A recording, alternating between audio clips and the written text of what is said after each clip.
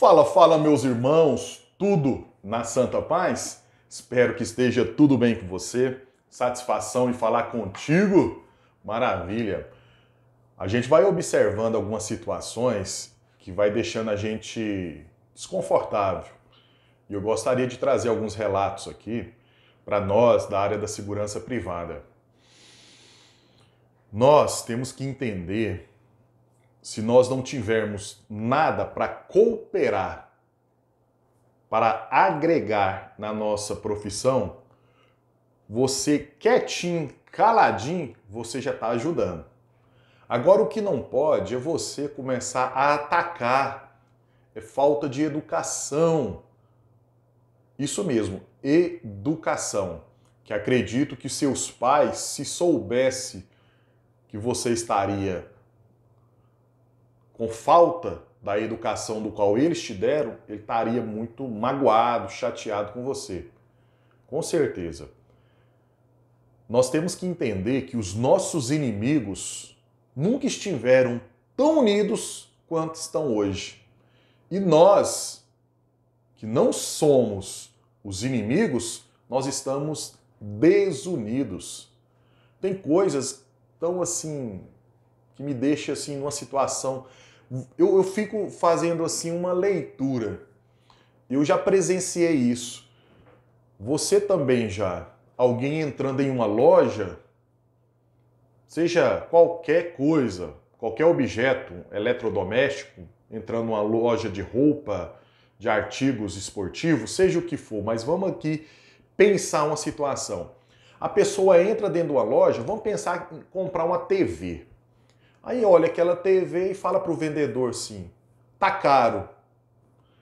É uma deselegância tão grande, você não precisa falar que tá caro. Você pode até pedir um desconto. Mas dizer que tá caro, para quê? Isso é uma ofensa. É o valor do qual ele acredita que vale. Ponto. Não é obrigado você questionar o preço se tá caro. Aí outra hora você fala, essa marca não presta. Que falta de educação. Quem é você para dizer que presta ou que não presta?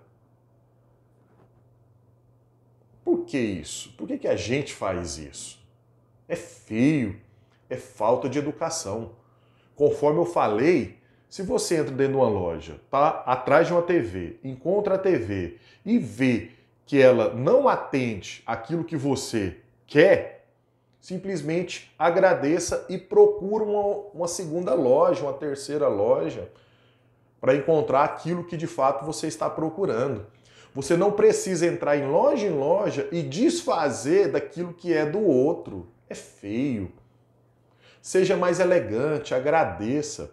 Ali atrás tem alguém que está trabalhando. Ali atrás tem alguém que é um funcionário um pequeno empresário, ali está um ser humano, ali tem uma pessoa que acordou cedo, estava ali para te atender. Não precisa ouvir esse tipo de situação. É muito feio, muito ruim. Se você não concorda, fica caladinho. Agora, se você vê o produto e esse produto é bom, esse produto está com preço interessante, agora sim é o diferencial eu elogiar a pessoa, elogiar o produto, elogiar o preço. Agora sim eu estou fazendo e agregando valor e deixando uma pessoa com autoestima lá em cima. Então vamos valorizar o que é bom, o que é ruim, não faça. Só o silêncio já vai dizer por si só. Vamos entender isso de uma forma assim pronta, eu falo isso por várias questões. Eu fico imaginando o seguinte: eu estou dando aula em uma sala de aula que tem 20 a 30 pessoas. No intervalo, tem alunos que me procuram dentro lá do nosso escritório para dizer que eu não vou continuar a aula com aquele aluno, não. Aquele aluno ele conversa demais, ele fala demais, ele para a aula toda hora. Onde eu quero chegar? Imagina uma sala de aula com 30 alunos. Agora imagina você falar com o mundo. Tantas pessoas maldosas que tá para desfazer do outro, tá assim, ó. Nós da área da segurança privada, que eu tô falando diretamente com você, a nossa categoria, nós temos que entender e melhorar as nossas relações. Tem muitas pessoas que estão desempregadas, e eu sempre uso o termo estão disponíveis no mercado de trabalho, porque não fez a tarefa de casa, não fez amizade nas outras empresas que do qual trabalhou. Falava mal do chefe, não gostava disso, não gostava daquilo, nada prestava e hoje as portas fecharam. Ele não tem o network, não tem contatos por não ter contatos, tá ali, a deriva, isolado. Agora, aquela pessoa, você pode ter certeza que a chance daquela pessoa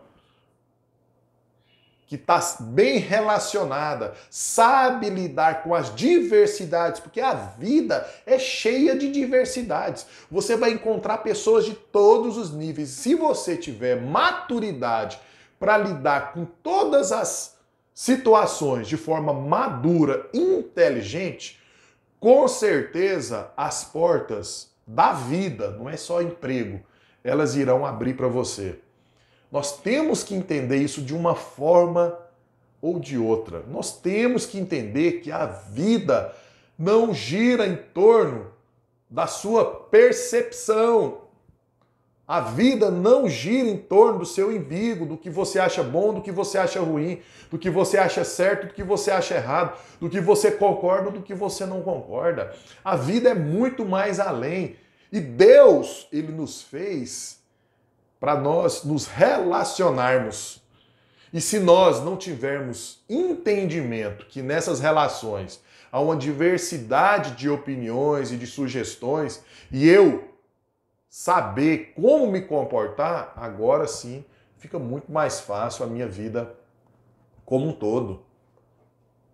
Eu falo isso pois você que me acompanha aqui no canal já há algum tempo, você já me conhece, sabe quem eu sou, sabe o tom de voz, o vocabulário que eu uso, você sabe como que é o meu comportamento, nunca ofendi ninguém, nunca trazi, trouxe palavras pejorativas, porque não faz parte do meu vocabulário. E eu tento aqui, através dessa plataforma, do YouTube, do nosso canal, ajudar tantas pessoas. Mas a gente age de uma forma calada, velada, porque eu não preciso vir aqui dizer que nessa pandemia, quantas vezes eu presenteei pessoas com cestas básicas, com ações sociais. E mesmo estando longe, pessoas falando, vigilante que estão desempregados, passando necessidade, você falar assim, ó, me manda seu talão de luz, a pessoa me manda e eu pip, pagar aqui. Quantas vezes? Não foi nenhuma e nem duas. E nem conheço e nem sei se essa pessoa está me aplicando um golpe. Nem quero saber. Mas eu sei que a gente está aqui para entender o processo e ser bênção na vida das pessoas. Se as pessoas estão usando de má fé, é o Senhor Deus e por isso que é o nosso sucesso aqui, ó. Nosso canal cresce assim de uma forma extraordinária. Nossa empresa Vertical Treinamentos, nossos cursos presenciais, nossos cursos online, você vê quantas vezes eu presenteio as pessoas trazendo dignidade, trazendo cursos profissionalizantes totalmente gratuito. Eu nunca parei de dar cursos profissionalizantes gratuitos. Já presenteei mais de 10 mil pessoas. Quando a gente fala 10 mil, para não ficar ofendendo, se é 11, se é 12, se é 13, porque isso aqui cresce todos os dias. Mas infelizmente, igual eu estou fazendo esse vídeo aqui, vai aparecer pessoas me pedindo coisas. Para você ver o nível do entendimento. Uma pessoa pequena, como a gente fala com tanta gente, tem gente que vai vir aqui, ah, me ajuda, me ajuda, pelo amor de Deus, estou passando necessidade. Não é dentro desse propósito. Não é, meu irmão. O pouquinho que você tem, se você tem um saco de arroz, você pode repartir com o vizinho. Tantos guerreiros aqui que, faz, que fazem ações fantásticas, me manda aqui mensagem. Tem guerreiros aí, teve um do condomínio que presenteou com a cesta básica e falou isso nos seus grupos ali do WhatsApp, daquele condomínio, e outras pessoas doaram mais cestas básicas e eles podem abençoar várias outras comunidades, várias outras pessoas. Pessoas fazendo marmitex aí que a gente tem ajudado. Pessoas solidárias pagando água, pagando energia dos vigilantes que estão desempregados, pagando remédio. Pessoas depressivas, pessoas com problemas. Quantas vezes que eu trouxe aqui para dentro eu não divulgo, porque essas coisas uma coisa ou outra eu falo, como eu estou falando aqui, mas isso aí não. Nós temos que saber, meu irmão, que a vida é muito mais além do que nós imaginamos. Muito mais além. A gente vive as intempéries da vida o tempo todo. Mas nós temos que ter uma linha linear para a gente manter um nível de qualidade em percepção do próximo. Isso chama compaixão. A dor do outro não, não é maior e nem menor do que a sua. Nós não podemos nos vitimizar que eu estou sofrendo, eu estou precisando, não. Esses dias aconteceu a coisa mais cabulosa da minha vida. Eu fiz um vídeo falando que eu perdi a pessoa mais preciosa da minha vida com esse Covid da. Foi minha mãe querida. Pensa uma mulher assim. A mulher que ela cria pontes. Já viu aquela casa de vó que um movimento o tempo todo de vizinho, de neto, de filho, café, almoço, toda hora. Essa era a minha mãe. E eu ainda não discerni total que eu, minha mãe não está aqui presente fisicamente para eu ligar para ela todos os dias, como eu ligava minha esposa. Você ligou para sua mãe? E eu já atendi o telefone assim, ó. Eu ligava à noite, Boa noite! Brincava com ela desse jeito. Ela fala, meu filho, como é que foi o seu dia? Como é que foi o trabalho? Não tem. Tem coisas que é tão estranha que a gente tem que respirar fundo, entender que tem a vida é um ciclo. A vida, ela acontece assim, ó. Nós somos seres humanos. Tanto é que essa palavra é tão maravilhosa ser humano é junto ou separado? Separado. Porque humano, sem ele ser, não tem significado nenhum. Então ele necessita ser humano. E nós vamos vendo as diversidades da vida. é bom demais, meu irmão, poder servir, poder ser amigo, Todos os dias chegam mensagens aqui para mim no WhatsApp, aqui nos comentários, pessoas assim do bem. E eu amo, falo, Senhor, obrigado por essa oportunidade que o Senhor me deu através daqui do nosso canal, através da nossa empresa, chegar em tantos lares, tantas casas, de uma forma assim tão simples e as pessoas gostarem tanto da gente. Tem pessoas que têm um carinho tão grande pela Vertical Treinamentos, pelo professor Murilo, que eu fico assim, encantado, meu irmão. Homens, mulheres, jovens, senhor, senhoras, me perguntando sobre querendo conselho, às vezes quantas vezes ultrapassa a questão da vida profissional, vai muito mais além. E eu estou aqui à disposição, meu irmão pode me mandar mensagem, pode me mandar o WhatsApp, pode me pedir ajuda. Se tiver do meu alcance, eu vou correr atrás e quero te ajudar. Eu quero te ajudar. Quero te ajudar. E esse é o nosso objetivo, meu irmão. A vida ela é muito curta, muito rápido. Se nós não valorizarmos as coisas boas, se nós não as coisas ruins, se nós não tivermos competências de melhorar sem ofender, sem agredir, meu irmão, a pergunta que eu sempre faço é: se você hoje for morar com o pai, hoje, se Deus te levar, qual a história que você vai deixar para trás? Qual o legado? Quem foi você nessa terra? Quem? Você pode fazer essa pergunta. Mas às vezes as respostas não sou eu que dou. É as pessoas que têm que falar por mim. Porque falar da gente, a gente é muito muito pronto para falar bem, mas para falar mal a gente não é. Sempre eu costumo dizer o seguinte: normalmente a pessoa fala, nossa, eu sou uma pessoa muito bonita. Bacana, você é o primeiro que tem que entender que você é bonito. Mas quem tem que ver a boniteza em você é o próximo. Não foi a Gisele 20, 20, isso, que ela falou assim: eu sou linda, sou magra, sou isso, e eu vou trabalhar nas passarelas e vou ser a melhor do mundo. Não. Foram as empresas, as marcas, as pessoas, o mundo que identificou e falou assim: você é. Não foi o Michael Jackson que falou assim: olha, eu sou um bom cantor e eu vou fazer muito sucesso. Não. As pessoas identificaram e colocaram ele lá. E tantas outras. E o que você está fazendo nesse primeiro momento? Sempre há tempo de mudar. As pessoas vão olhar para você e falar: aquele ali era um mal pagador, aquele ali era um mentiroso, um enganador, um preguiçoso, um fofoqueiro.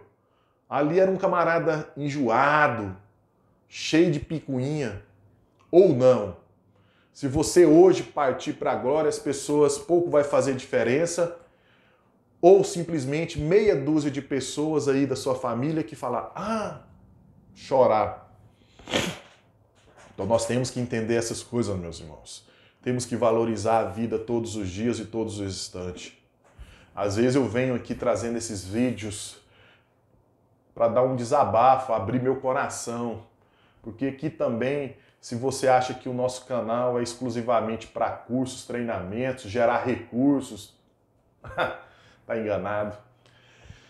Esse não é o fim, é simplesmente o meio nós estamos aqui para comunicar vida, virtude, plenitude, vida de Deus, vida de graça, entendimento da glória. Porque se nós simplesmente falarmos de Deus e não vivermos Deus, essa nossa vida é em vão. E eu não estou falando dentro de uma perspectiva religiosa. Eu estou falando uma perspectiva cristã, de viver e ser Cristo nessa terra, ser um cristão. É, meus irmãos, que a vida nos leve a dias melhores. E para ser dias melhores, é eu que faço acontecer. Abrace mais as pessoas, ame mais, diga para as pessoas que você o ama. Diga para as pessoas que você quer do seu lado. Mande mensagem, faça videoconferência. Mande mensagem para o seu pai, para sua mãe, para aquele amigo que está distante, para o seu tio, para sua tia manda um texto bonito, mande um áudio dizendo que te ama. É muito bom, meu irmão, que nós venhamos viver a vida. Tanto é que quando eu peço assim, compartilhe esse vídeo, escreva no nosso canal, é para que a gente possa comunicar com mais pessoas. Tanto é que se você quiser fazer isso agora, fique à vontade. Mas aqui ficou só uma reflexão para o nosso coração. Tá bom? Um forte abraço para você e que Deus te abençoe ricamente, não só hoje, mas sempre, sempre, sempre. Em nome de Jesus. Forte abraço.